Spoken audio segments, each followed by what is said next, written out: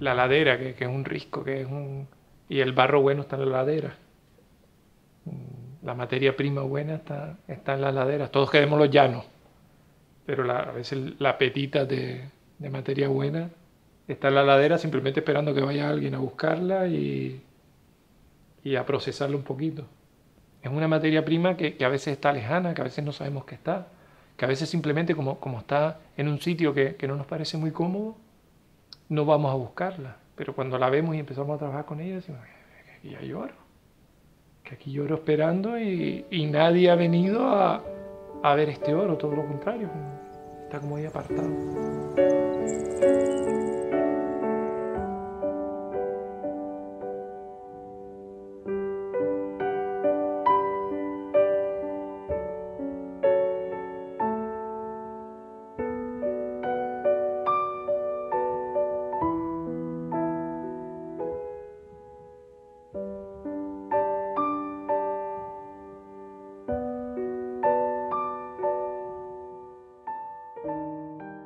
Pasa que, claro, vivir sin un padre, enterarse con cinco años que tiene un padre, y en ese transcurso de los de dos años, pues el padre, digamos que lo trató mal, lo trató muy mal.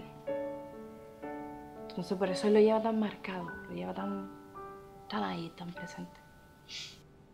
Son niños muy fuertes, sí. Y muy, muy válidos.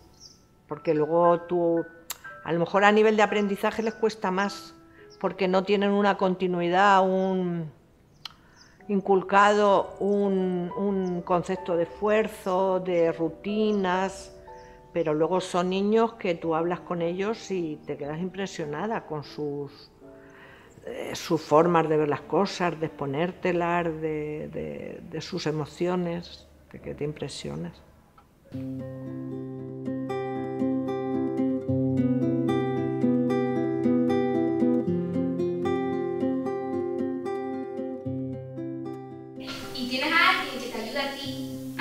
impresionas.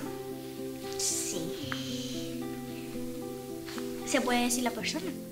A mi madre. ¿A tu madre? ¿Por qué? ¿En qué te ayuda a ser buena persona? En decirme no hagas esto, no hagas aquello, está muy mal, no está mal. Que, no, que a lo mejor yo no, no lo se lo demuestra mucho a ella, es una cosa que eso es lo que me, me cuesta a mí con Daire. Pero yo sí, a mi niña sí creo que la quiero mucho porque es mi hija.